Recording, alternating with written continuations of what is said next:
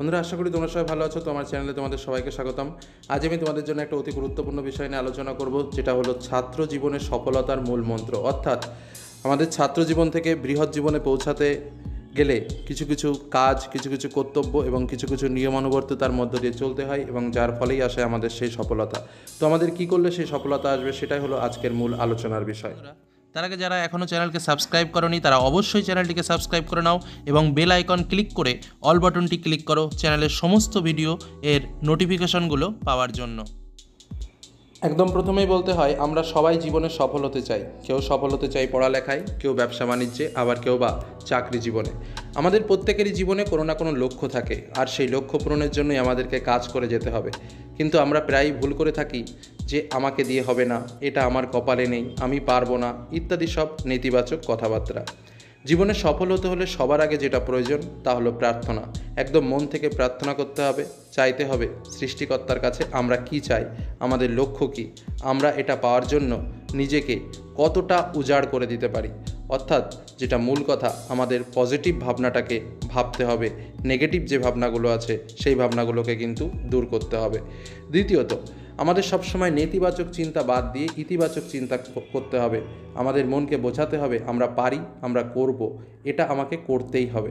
যখন আমরা আমাদের মনকে বারবার প্রেরণা দেব, বারবার মনকে ভালো কাজের প্রতি, ভালো চিন্তা আর সফলতার দিকগুলো চেনাতে শেখাবো, ততই আমরা বেশি সফল হওয়ার দিকে এগিয়ে যাব। সফল হওয়ার জন্য আমাদের কাজ, আমাদের চিন্তাভাবনা হতে হবে সহজ, সরল, সত্যনিষ্ঠ। সকল বাজে অভ্যাস আর বাজে কাজকর্মকে বাদ দিয়ে নিজের প্রতি আস্থাশীল হতে হবে যে আমি পারব।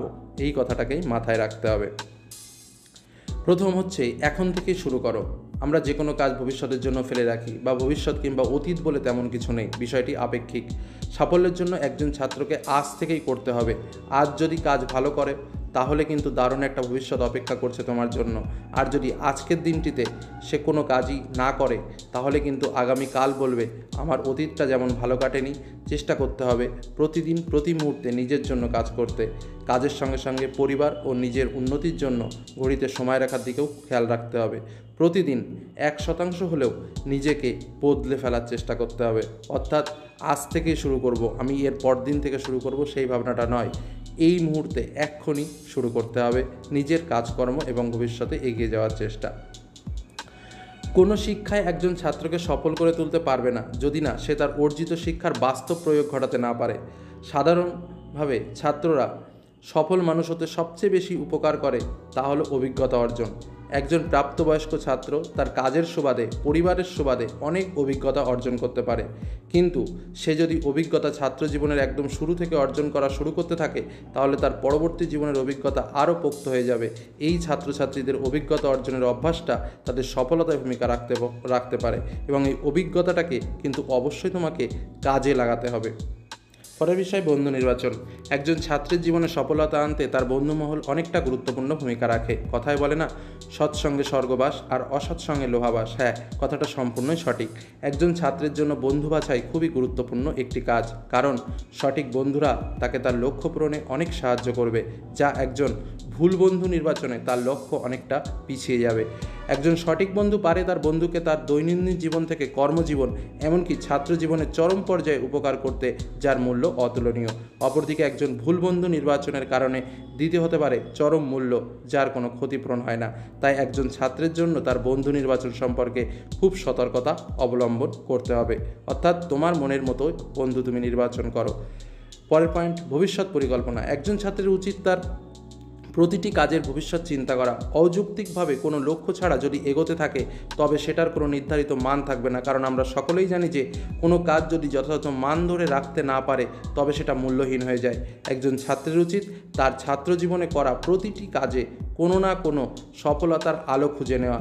এভাবেই একজন ছাত্রের চিন্তা ভাবনার পরিবর্তন হয়, যার ফলে সে তার লক্ষ্য পূরণে অটুট থাকে। অর্থাৎ যেটা মূল কথা, আমাদের একটা লক্ষ্য ঠিক রাখতে হবে। সেই নির্দিষ্ট লক্ষ্যটাকে নির্দিষ্ট রেখে আমাদের ভবিষ্যৎ প্ল্যানিং করতে হবে এবং আমরা ধীরে ধীরে সেই লক্ষ্য পূরণের উদ্দেশ্যেই এগিয়ে যাব।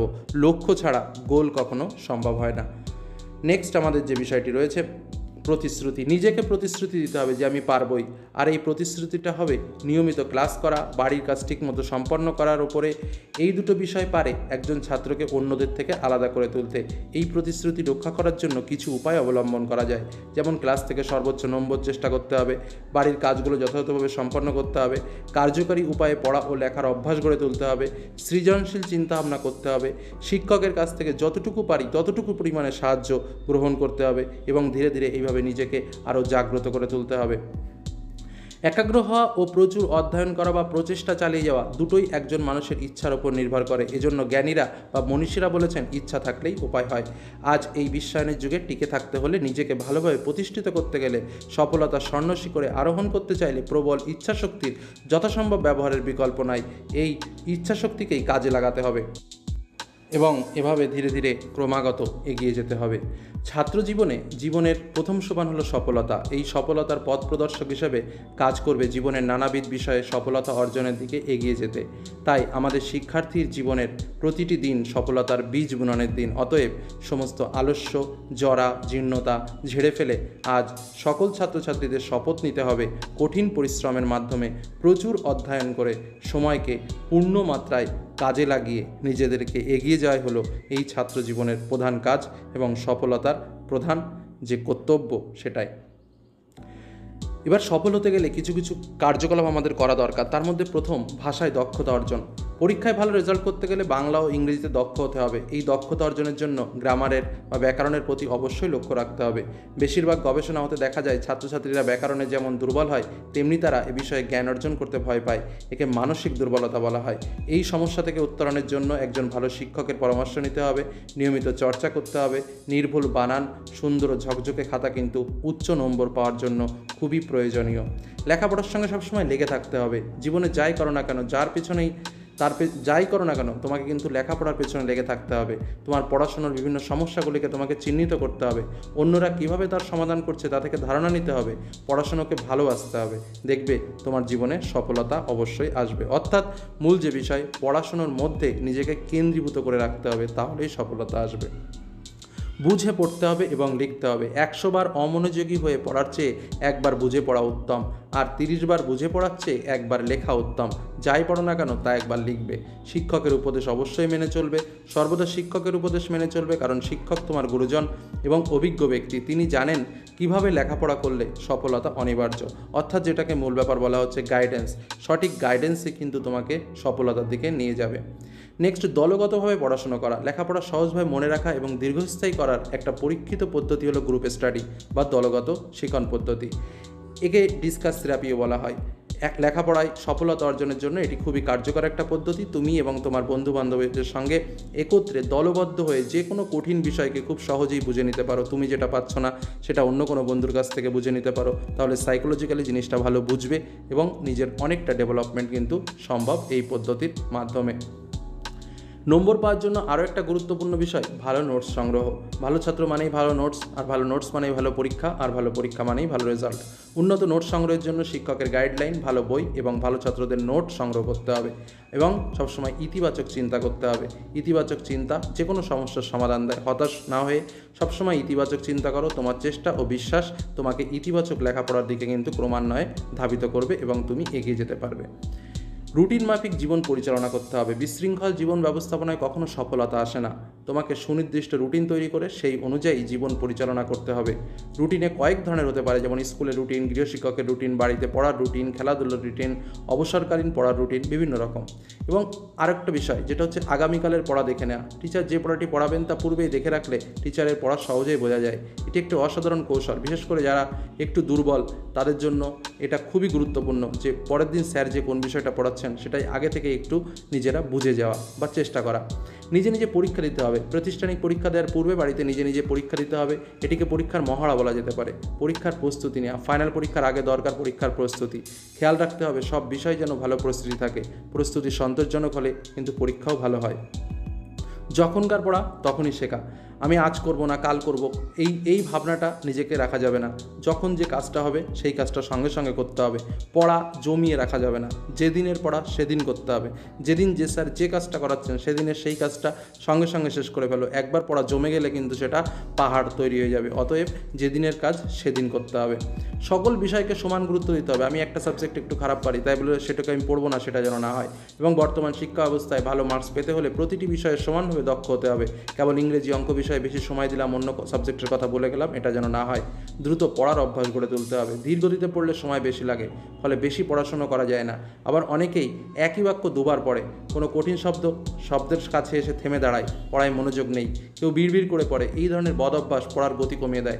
পড়ার সময় প্রতিটি বিষয়ের সারাংশ বোঝার চেষ্টা করতে হবে। উদ্দেশ্য সম্পর্কে সচেতন হতে হবে। বইয়ের গুরুত্বপূর্ণ যে অংশগুলো আছে, পড়ার সময় দাগ দেবে সেই লাইনগুলোর নিচেই এবং প্রয়োজনে নোটস করে নেবে। প্রয়োজনে একটা বই যদি ভালোভাবে না বুঝতে পারো, বিভিন্ন রাইটারের বিভিন্ন বই পাওয়া যায়। সেই একই বিষয়ের ওপর অন্য কোনো রাইটারের একটু বই পড়ে নাও। দেখবে সেই জিনিসটা আরও তোমার ক্লিয়ার হয়ে যাবে। অর্থাৎ তোমাকে প্রতিটা বিষয় সম্পর্কে সচেতন হতে হবে, দ্রুত পড়তে হবে এবং প্রত্যেক বিষয়কে সমান গুরুত্ব কিন্তু তোমাকে দিতে হবে। শেষ কথা একটাই বলব if you have hard work to do do it now, today. The sky is clear and blue. Tomorrow clouds may come in view. Yesterday is not for you, so do it now. অর্থাৎ এখনই কাজটা করো। তোমাকে hard work করতে হবে। জীবনে সুপ্রতিষ্ঠিত হতে গেলে সহজভাবে তোমার সফলতা আসবে না। অত্যন্ত কঠিন, রূঢ়ভাবে অর্জন করে নিতে হবে সফলতা। সফলতা তোমার কাছে এমনি ঘুরে ফিরে চলে আসবে না। সেই কঠিন বাস্তবকে মেনে নিয়ে নিজেকে সুপ্রতিষ্ঠিত করার মধ্যে সফলতা কিন্তু তোমার জীবনে